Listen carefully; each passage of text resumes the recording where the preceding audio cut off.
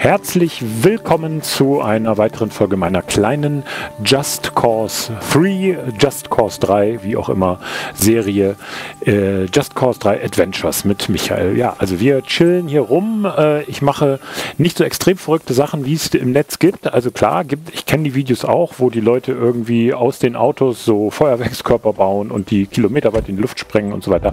Nein, ähm, das äh, passiert hier nicht. Maximal werden wir äh, ein paar von diesen Herausforderungen spielen. Äh, heute ist die Just Cruisen Folge dran. Also wir fahren durch die Gegend, wobei ähm, da durchaus, ähm, also jetzt mal mit einem Auto, das könnte ein BMW sein. Ist aber natürlich nicht, weil ich nehme mal an, Sie haben nicht die Lizenzrechte gekauft, was auch sinnvoll ist, wenn man so ein umfangreiches Open-World-Spiel macht, dass man dann nicht sich irgendwelche Autolizenzrechte kauft. Also, wir fahren durch die Gegend. Hier habe ich gerade äh, vorher eine Militärbasis entfernt, sagen wir es mal freundlich oder befriedet, je nachdem wie ihr wollt. Und ähm, fahre hier durch die Gegend, um äh, die, die jetzt zu erkunden. Vorher ging das nicht. Man wurde quasi unentwegt beschossen und äh, jetzt geht das aber. Ja, und äh, Ziel soll es sein, ein paar lustige Sachen zu machen. Also zum Beispiel auf dem Autodach stehend das Auto über eine Sprungschanze zu fahren. Äh, das ehrlich gesagt ist der komplizierteste Stunt heute. Ansonsten gucken wir uns einfach die Gegend an. Hier war die Basis in so einer großen, nach, offen, äh, nach oben offenen unterirdischen Höhle.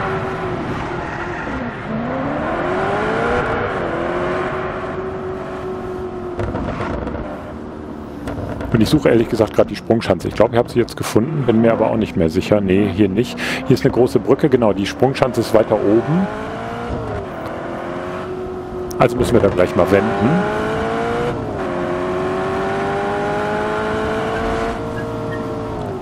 Zumal da noch so ein, so ein Dopplerradar steht. Ich weiß gar nicht, ob ich das nicht zerstört habe oder ob das jetzt der Rebellion gehört. Da wurde gerade noch ein Hubschrauber abgeschossen da oben, hat man vielleicht noch gesehen, so am Bildschirmrand.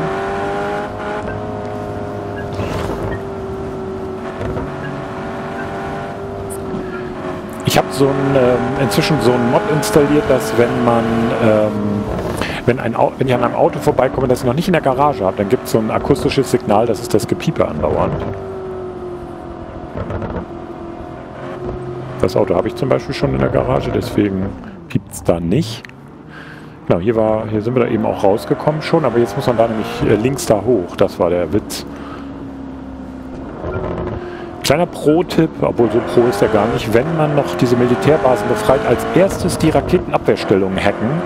Die, das kann einem sehr helfen, wenn man äh, sozusagen aus der Luft nicht mehr angegriffen werden kann. Deswegen ist das immer das Ziel, die als erstes da, die links da so, wenn die so blau leuchten, gehören die mir und dann können da so viele Hubis kommen wie wollen solange die auf meiner Seite sind, habe ich da eigentlich wenig zu befürchten. Aber jetzt ja sowieso nicht, weil das Gebiet ja inzwischen komplett befriedet ist. Da ist die Sprungschanze. Gut, dann Anlauf nehmen. Leider muss dann, glaube ich, dieses schöne Auto dran glauben. Da hinten übrigens, das ist die Hauptinsel, sieht man eine wunderbare Großstadt. Da freue ich mich schon sehr drauf, da auch ähm, einzufallen, um es mal freundlich auszudrücken. Noch ein Stück zurück. Hat ein bisschen was von James Bond so. Okay, noch ein Stück. Ja, obwohl, ja, so ist, so ist ganz gut. Ja, doch nehmen wir ein Stück, Stück mehr Anlauf. Und dann ähm, geht es jetzt auf die Sprungschanze. Und dann hüpfen wir aus dem Auto hinaus.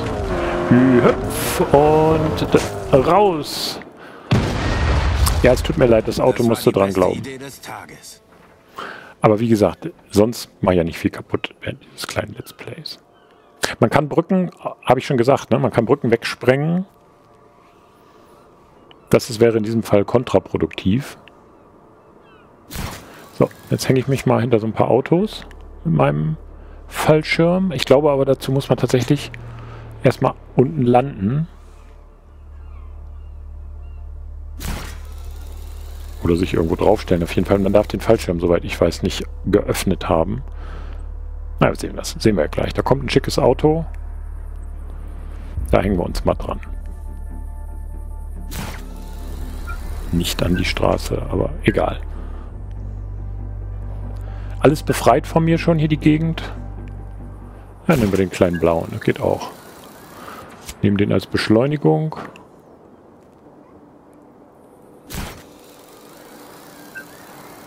Eigentlich wollte ich den braunen da haben, genau.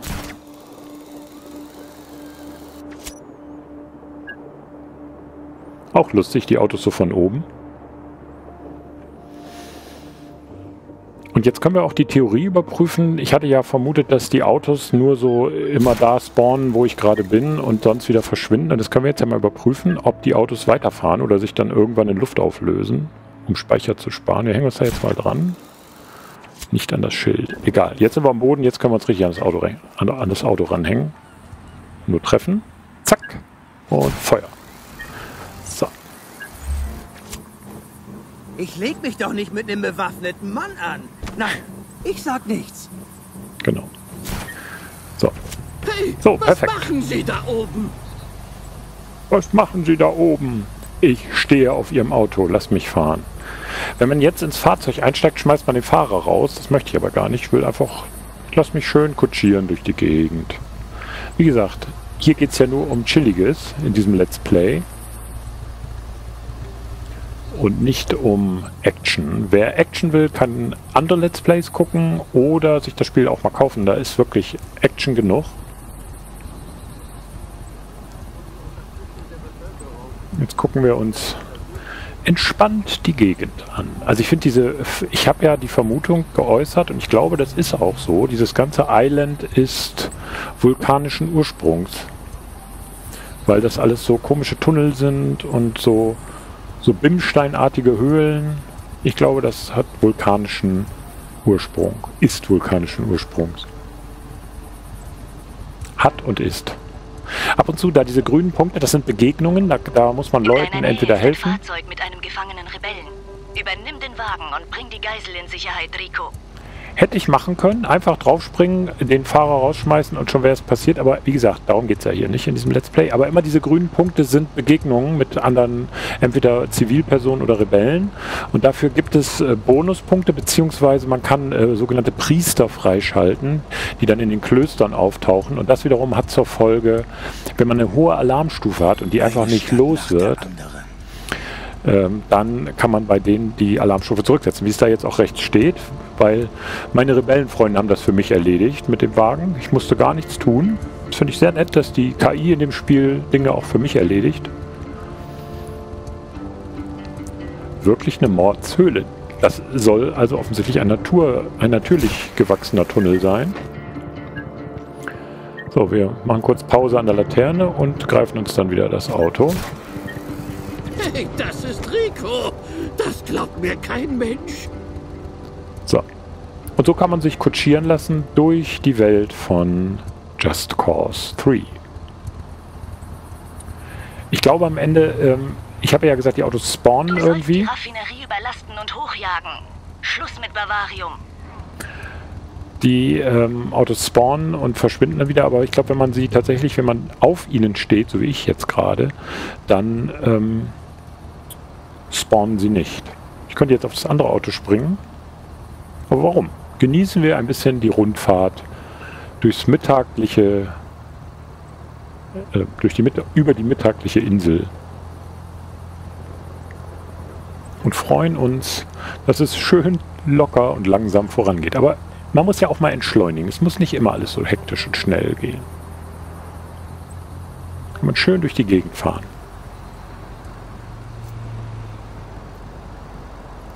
Übrigens, Achtung, diese Insel ist noch nicht komplett von mir befreit. Das heißt, da sind auch noch, das werden wir jetzt mal eben ausprobieren, auf dieser, das ist ein durchaus feindlicher äh, Überwachungsturm. Ich springe trotzdem mal hoch.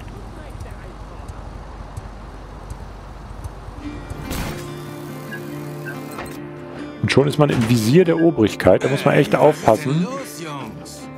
Ich bin total fertig. Letzte Nacht nur sechs Stunden geschlafen. Das reicht einfach nicht. Das war mir einfach zu riskant, dann angegriffen zu werden. Aber auch hier, man, man sehe, Jetzt ist es ihm zu blöd, jetzt überholt er endlich mal, aber und fährt dem auch noch hinten drauf. Wie gesagt, ich habe damit nichts zu tun. Das ist die KI. Kann ja mal passieren. Da oben ist eine Hubschraubertour, beziehungsweise in Wirklichkeit Ich ist das. Da oben dieser Hubschrauber ist äh, in Wirklichkeit eine Wingsuit-Tour. Da kann man wieder schöne Punkte sammeln. Also ähm, man kriegt ja Zahnräder für erfüllte Missionen. Und da gibt es äh, Flugmissionen, Schussmissionen, Bombenmissionen und so weiter und so weiter. Fahr Fahrzeug, also mit Fahrzeugen, Rennstrecken, Ablieferungen, alles auf Zeit zum Teil. Aber da gibt es eine Menge, was man machen kann, was man auch machen sollte, um einfach seine Fähigkeiten zu verbessern. Man erhält dann zum Beispiel Freischaltungen für bessere Waffen oder natürlich auch zum Beispiel kann mehr Handgranaten tragen. Wie, also das Mod habe ich zum Beispiel, dass ich vier Handgranaten tragen kann statt drei. Das kann im entscheidenden Moment mal wichtig sein. Jetzt fahren wir mal bei dem weiter. Ich leg mich doch nicht mit einem bewaffneten Mann an. Nein, ich sag nichts. Ähm, ich sage mal so, die Sprüche sind doch sehr überschaubar der, der Leute, aber darauf kommt es ja auch nicht an. Immerhin komplett in Deutsch, also wer das mag, das Spiel komplett eingedeutscht. Ist auch nicht immer der Fall. Ich lasse jetzt auch immer die Untertitel eingeschaltet, das ist glaube ich ganz gut. Eine Ziege, eine! Angefahren. Mist. Ich kann nichts dafür. Ich bin wie immer, ich wasche meine Hände wie immer in Unschuld.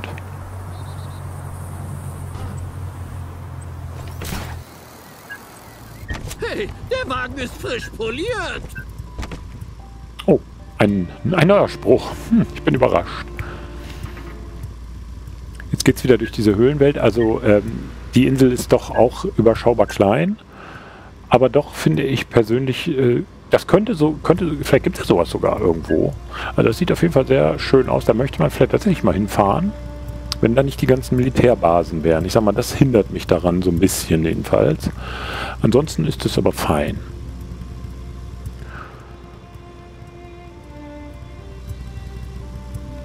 Es soll chillig sein, es ist chillig. Und jetzt sind wir auch gleich wieder an der Militärstation und dann soll es das auch für heute gewesen sein.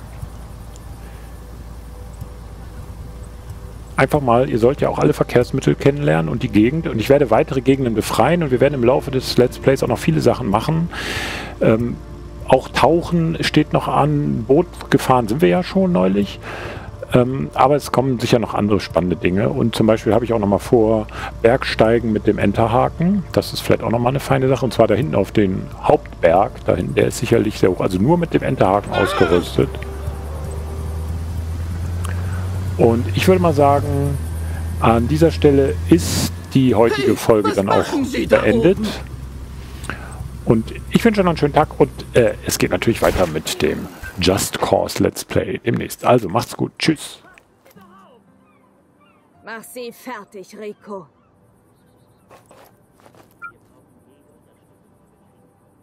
Hey, krieg ich ein Autogramm? Oder einen Tandemsprung?